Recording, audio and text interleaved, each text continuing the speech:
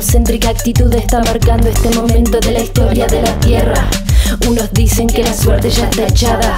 Parece que a nadie le importa nada. Aunque yo ya puedo ver desde lo alto de la sierra miles de mujeres con las manos levantadas. Si hay conciencia de lo que dice la ciencia, si la vida fue construida con el paso de los tiempos, hay poesía, hay razón, reclamando la atención en la marcha de la evolución. El amor es infinito, está todo en nuestras manos. Decime, hermano, entonces, decime qué esperamos.